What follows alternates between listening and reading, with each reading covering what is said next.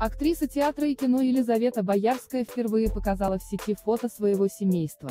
Впервые в соцсетях фанаты актрисы смогли увидеть вместе ее, ее супруга актера Максима Матвеева, и их семилетнего сына Андрея. Супруги на фото поздравляют с днем рождения своего сына. Сегодня ровно 7 лет, как я поняла для чего я родилась.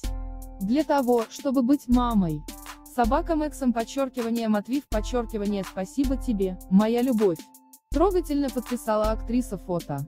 Вслед за Елизаветой Максим Матвеев опубликовал у себя на странице ту же самую фотографию с праздничным тортом и процитировал утренний диалог с сыном. «Андрюх, сегодня у тебя день рождения. Я понимаю, немного волнительно. Цифра серьезная, тебе исполняется 6 лет, пап, вообще-то уже 7. Фанаты звездной пары желаю счастья имениннику и их родителям.